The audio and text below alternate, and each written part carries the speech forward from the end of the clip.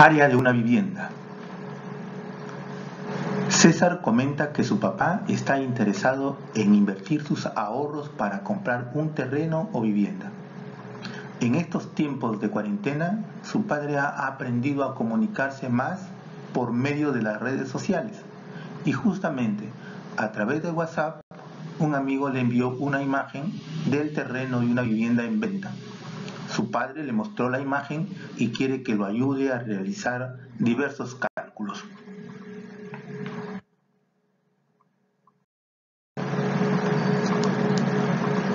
Tenemos la imagen del terreno. Tenemos esta zona que es donde se tienen que construir las habitaciones y tenemos esta zona que representa al jardín. Esta es la representación del terreno. Tenemos una dimensión 20 metros. Hasta aquí. Falta esta otra dimensión. Tenemos esta dimensión de 14 metros. Solo hasta allí. Y nos falta esta dimensión. Tenemos que el jardín tiene una dimensión de un lado de 40 metros y un área de 640 metros cuadrados. A partir de la situación, responde las siguientes preguntas. ¿Cuál es el perímetro de todo el terreno? Perímetro de todo el terreno. Todo el terreno. ¿Cuál es el área que corresponde a la vivienda? Esta área. Tenemos que encontrarla, porque el área del jardín ya lo tenemos.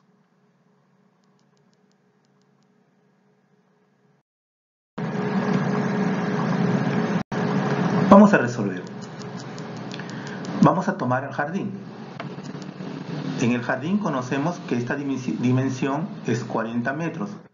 El jardín tiene una forma rectangular, su área son 640 metros cuadrados.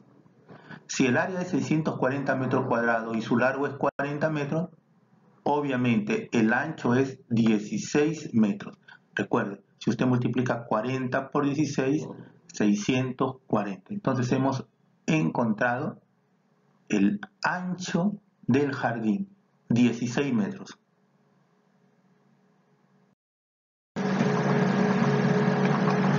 Vamos a ubicar en el gráfico la medida encontrada y luego tracemos algunas líneas que nos ayudarán a identificar otras medidas. 16 metros es este lado del jardín trazamos esta línea paralela a la base del terreno que tiene forma rectangular, esta línea roja, y decimos entonces que esta dimensión que faltaba es 16. Entonces tenemos 20 y tenemos 16. Trazamos esta línea para identificar el largo del jardín que es 40 metros. 40 más 14 son 54 metros, entonces que tiene de largo el terreno, el terreno que tiene forma rectangular. 20 más 16 son 36, será el ancho del terreno que tiene forma rectangular, aquí está 36. Entonces hemos distinguido medidas y ya estamos en condiciones de hallar el perímetro.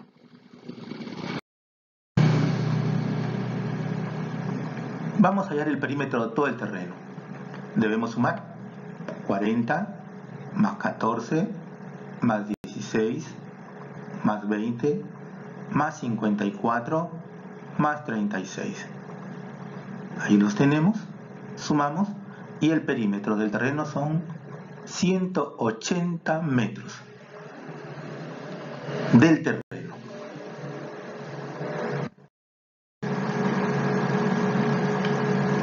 Vamos a hallar el área del terreno. El terreno tiene forma rectangular y su área es largo por ancho, es decir, 54 por 36. Multiplicamos y tenemos que el área del terreno es 1944 metros cuadrados, el área del terreno.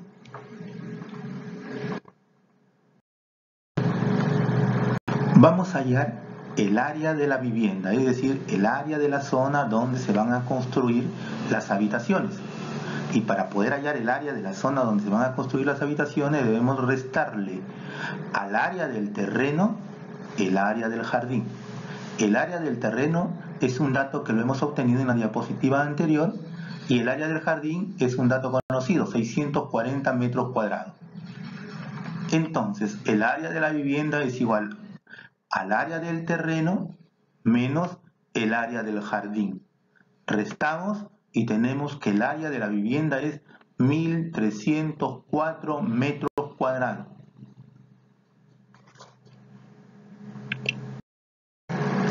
Áreas verdes. Se tiene las siguientes propuestas de área verde. Propuesta 1, propuesta 2. ¿Cuál de las dos propuestas tiene mayor área? Observe que la propuesta 1, el área verde ha sido diseñada a partir de un cuadrado de lado 100 metros. Y la propuesta 2, ha sido, el área verde ha sido diseñada a partir de un cuadrado de lado 100 metros. ¿Cuál de las dos propuestas tiene mayor área? Observemos la propuesta 1.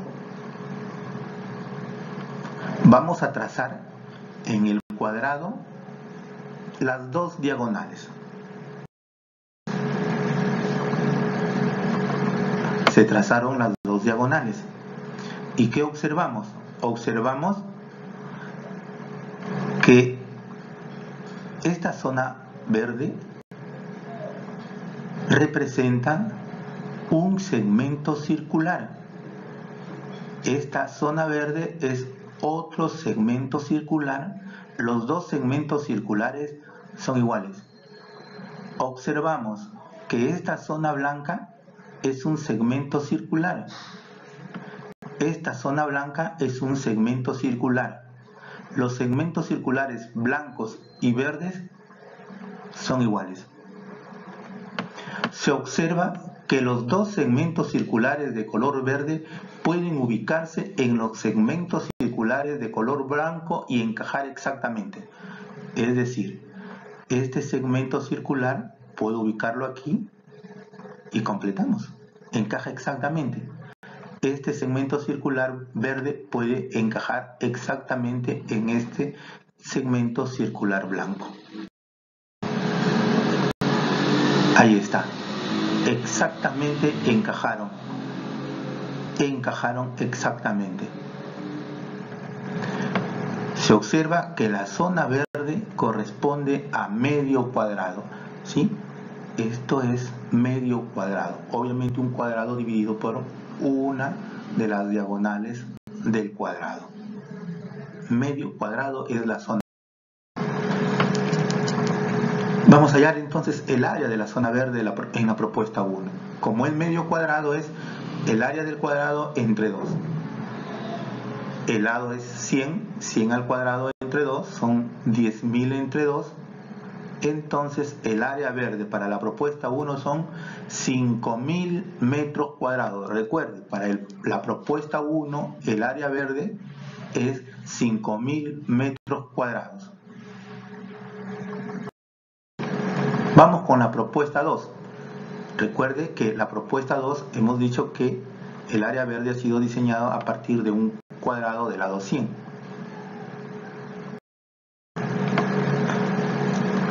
Para poder hallar el área verde, nosotros necesitamos hacer la siguiente reflexión.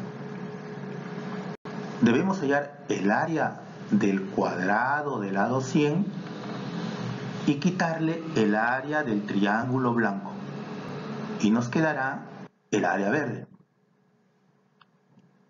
Vamos a encontrar el área del cuadrado, luego el área del triángulo de color blanco, vamos a restar área del cuadrado menos área del triángulo de color blanco y nos quedará el área verde. Vamos a hallar el área del cuadrado. El área del cuadrado es L al cuadrado, son 100 al cuadrado el área del cuadrado son 10.000 metros cuadrados. Ahora vamos a hallar el área del triángulo blanco.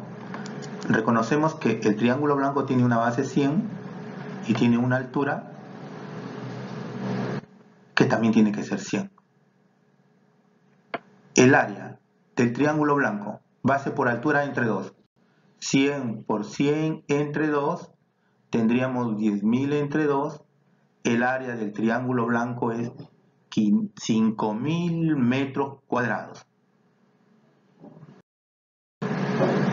Ahora sí, vamos a hallar el área verde. Lo que habíamos dicho, vamos a restarle al área del cuadrado el área del triángulo blanco. El área verde es igual a 10.000, que es el área del cuadrado, menos 5.000, que es el área del triángulo blanco. El área verde es 5.000 metros cuadrados. En la propuesta 2, el área verde es 5.000 metros cuadrados. Finalmente, se concluye que las dos propuestas, la propuesta 1 y la propuesta 2, tienen igual área verde.